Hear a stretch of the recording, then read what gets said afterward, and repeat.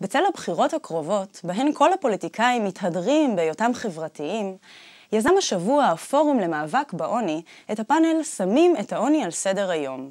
בפאנל ניתנה במה לכל המועמדים לפרוס בפני הקהל את המצעים החברתיים-כלכליים של מפלגתם.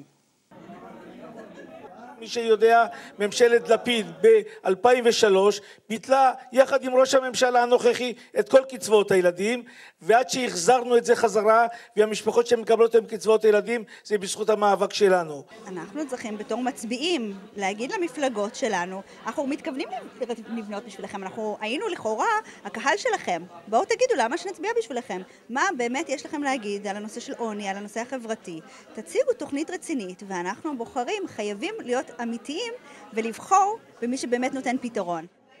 נציגי שתי המפלגות המובילות בסקרים לא הופיעו בפאנל. גם מתוך הנציגים האמיצים שכן הגיעו, לא לכולם היו תשובות לשאלותיו הנוקבות של הקהל, וחלקם פרשו מהדיון.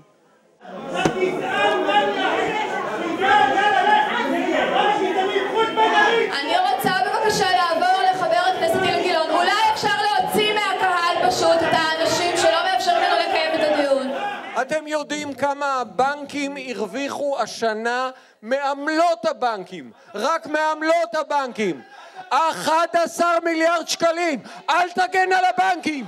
אל תגן על הבנקים! אתה לא מרוויח את הכסף הזה. אל תגן על הבנקים. כל זמן שרוב הכסף ילך לביטחון ולהתנחלויות, הכסף הזה הוא לא יהיה פה, ואתם חייבים להבין שיש קשר בין צדק חברתי לתהליך מדיני, ואי אפשר להפריד את זה. תודה רבה. הפוליטיקאים למדו שפגישה עם האנשים מאחורי המספרים יכולה להיות חוויה לא פשוטה.